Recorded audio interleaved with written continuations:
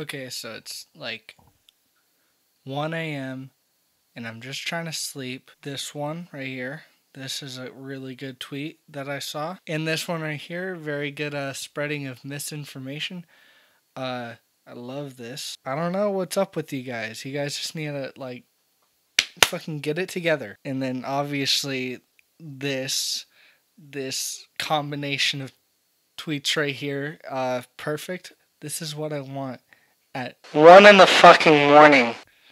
It's just seeing all of these just surface up. Yeah, if you have a weak immune system, just stay home.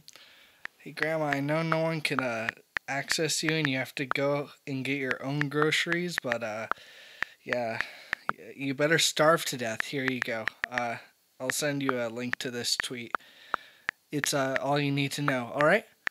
All right. Thanks. Perfect. All right. Uh, informed all of my loved ones about that. And obviously, this video right here.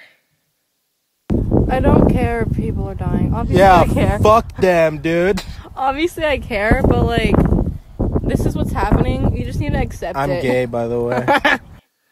I don't care if people are dying. This is what's happening, and you need to accept it.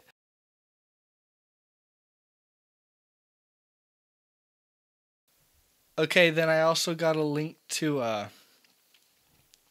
to this YouTube video about Dr. Shiva Ayyadurai, MIT PhD crushes Dr. Fauci exposing Birx, Clinton's, Bill Gates, and the WHO.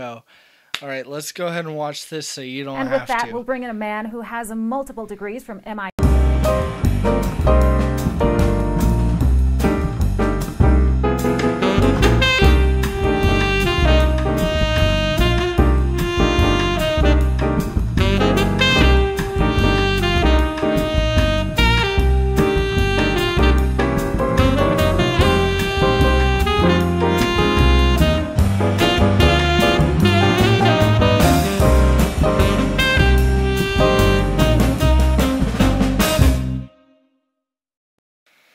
All right, well, let me go ahead and leave a comment on what I think. Oh.